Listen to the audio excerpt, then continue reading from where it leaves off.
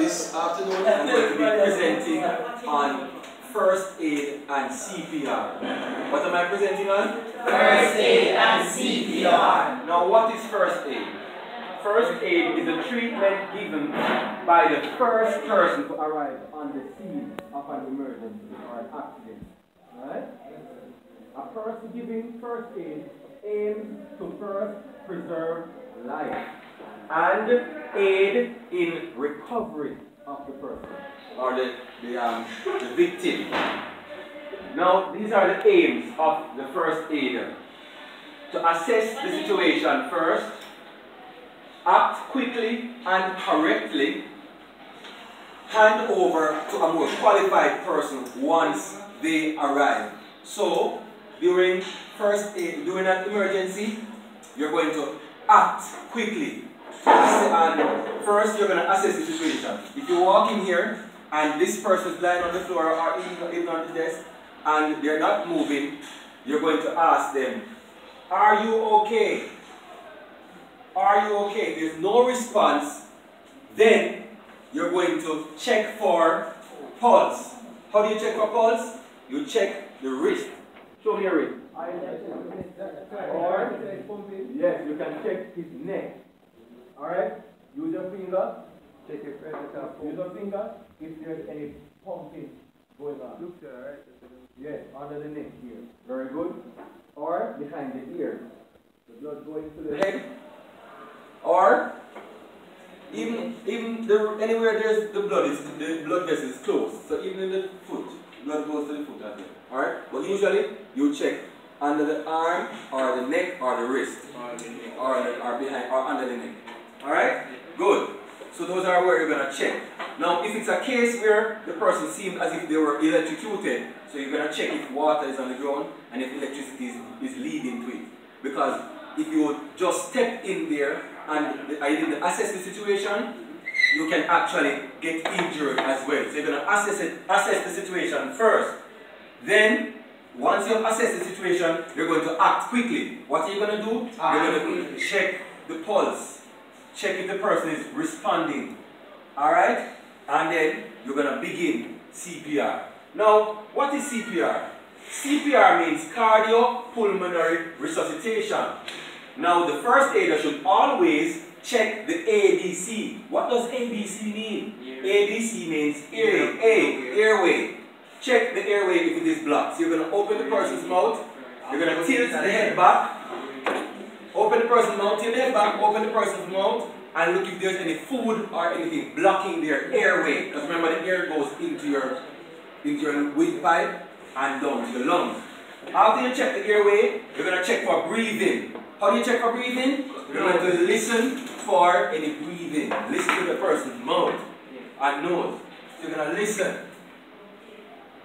If there's no breathing, you're going to check for circulation, otherwise known as the pulse. So you're going to check the person's pulse. Where are the person's places you can check? Wrist and the neck and behind the ears. Very good. Next, the first aider should look, look, smell. What are you going to smell for? If there's any burning or so on, right? Yes, sir. And listen for danger to the victim or him or herself. So, this is what you can use. The doctor ABC. Danger. You're going to check for danger. Then, if there's no danger, you're going to check for response. Response means that the person is breathing. Then, you're going to check airway. Is the person... Sorry, response means if there's any... If they respond to you. If they respond, they, they don't move with them groan or so. Airway, you're going to check if the person is breathing. And, and um, or sorry, airway if, if the person has anything blocking them. And breathing, you're going to check the breathing. And circulation, you're going to check for pulse.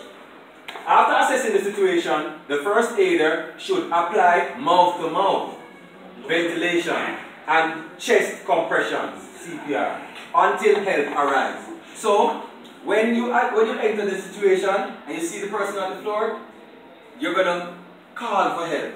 Ask the person to call the ambulance. Then you're going to come now and begin CPR. So don't just begin CPR and other people are outside and, and they could have called for the ambulance for you. Alright? So you're going to ask them to call the ambulance. So while that is happening, then you're going to begin CPR. Now, what is mouth to, what is CPR. Alright? CPR is giving chest compressions. Alright? So you're gonna find the middle of the chest, right here. Right? And you're gonna press in the person's chest, about two inches. Press. You're gonna give them 15 chest compressions. 15. How many? 15. So, so really, you're gonna lock your fingers like this. Everybody lock your fingers like this. Like this. And you're going to use the heel of your hand. Where's the heel of your hand? Right here. Very good. And you're going to press into the person's midrib. Right here. It's like you're restarting the heart. You're going to give them 15 compressions. How many compressions are you going to give? 15. And you're going to mix the compressions with two breaths. How many breaths? Two. So you're going to open the person's mouth and blow two times. And you're going to watch the chest rise. Alright? Once the chest rise, you're going to, well, by the way, you have to pinch the nose so that the ear doesn't come through the, their nose. You're going to pinch the nose and blow.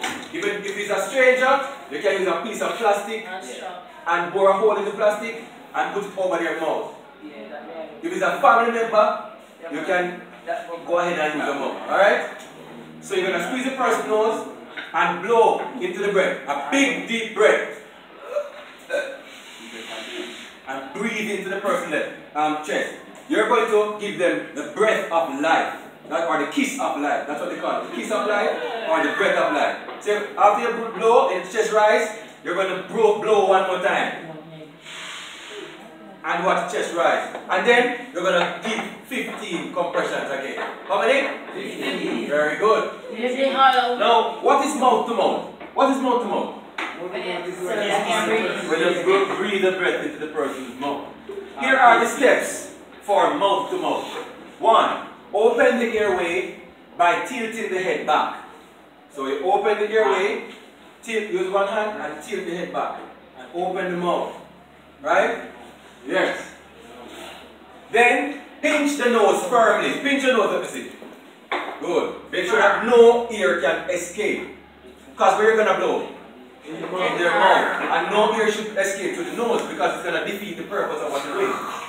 Take a deep breath and seal your lips around the casualty's mouth or around the mouth and nose of an infant. So if it's a baby, your, your mouth is bigger than the baby's whole face almost. So you're gonna blow over both the nose and the mouth because the baby's face and, and nose and mouth are very close in comparison to your mouth.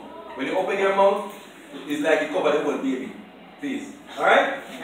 So you're gonna give or around the mouth and nose of an infant and give two breaths. How many breaths? Two breaths. Blow their blow into their mouth until the chest rises. What are you gonna wait until? The chest rises. Then allow their chest to fall. When the chest fall, what I mean? Go back. So you're gonna take up and you're gonna lift up yourself and take another deep breath. And take another breath. Check for pulse after every 10 breaths. So that's, you see how many times you're gonna have to do this, the, the, mouth to mouth before you can check the pulse? 10 times. Right? After 10 breaths, rather. So you're gonna, 10 breaths times 2, that's how many breaths you're gonna give? 20. Right? So you're gonna blow 20 times. Alright, so how, what, what I mean by that? You're gonna give them two breaths and then and then 15 chest pumps, then you're gonna blow again two times, 15 chest pumps, blow again two times, 15 chest pumps until you reach how much? 20. 10. 10 breaths, which would be 20. 2 times 2, right? Note that chest compressions must always be combined with mouth to mouth. So you can't just like give chest compressions alone. You right? You're going to give 15 chest compressions and how many breaths? 2 breaths. Then 15 chest compressions, then 2 breaths. Give 2 breaths, right? Place heel of hand at just above the rib margin and breastbone. Place another hand on top and interlock fingers. Keep your elbow straight. So you're going to keep your elbow straight when you're doing it.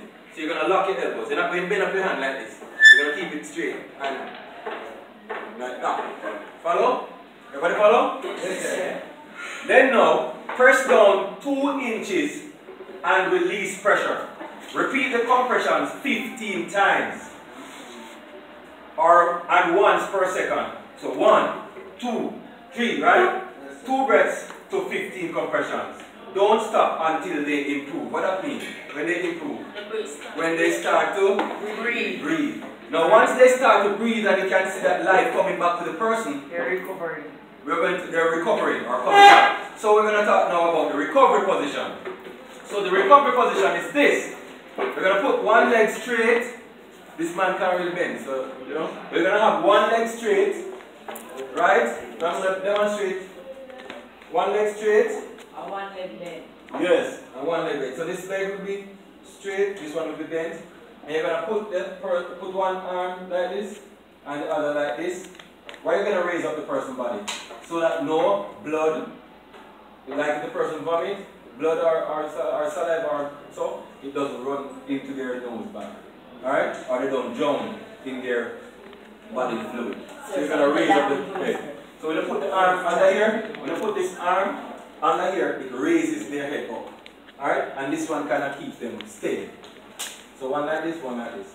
And leg like that. Everybody follow? So the recovery position. The recovery position prevents the tongue from blocking the airways. What does it do? Prevents the tongue from blocking the airways. And the swallowing of any blood and saliva. And, and what else? Saliva. Blood and saliva from going down the, the lungs. How you do it? Place the arm at 90 degrees with the elbow bent. Let me see you do it. Place one arm at 90 degrees with the elbow bent. Then now, place the palm facing up. The other arm is placed across the chest. Palm, uh, um, palm, palm up, right? The palm resting against the cheek. Rest the palm against the cheek. Right? So it's like this. Everybody see? The, um, the furthest thigh pulled up. So the, the thigh, this thigh up, is going to be pulled up. Right? Resting on the next leg. Lift the chin up, up um, forward. Why are you going to lift the chin forward? So, so, so that, yeah, so that they, they can breathe. Check that the casualty cannot roll forward or backward. So that's why you're going to make sure that they're like this. If they roll forward, they're going to fall in their, in their blood or saliva. And if they roll backwards, they're out of the reco- recovery position. Check breathing and pulse if they stop. So you're going to keep checking on the person. Even though they will be recovering, Yeah, not- we're you're not going to leave them and gone. You're not just still there, even just sitting there and watching them recover. When they're in this position, you're giving them a chance to recover on their own. Everybody follow?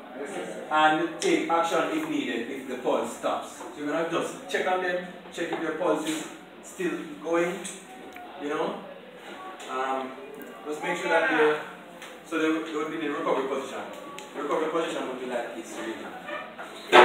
So my my my um victim cannot move like, like. Alright? So now tell me what you learned. Tell me what you learned today. Yes? About the recovery position? Very good. What about the recovery position?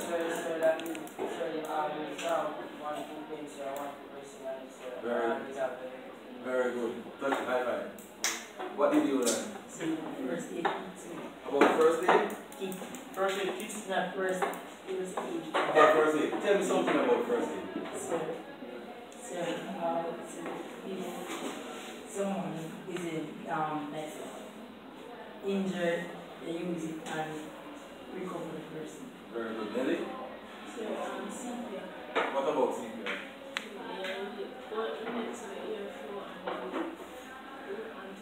Very good. Very good. Yeah? What about the recovery position? Yeah? Very good.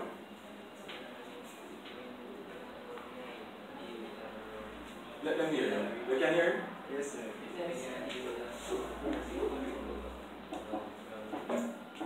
Injury?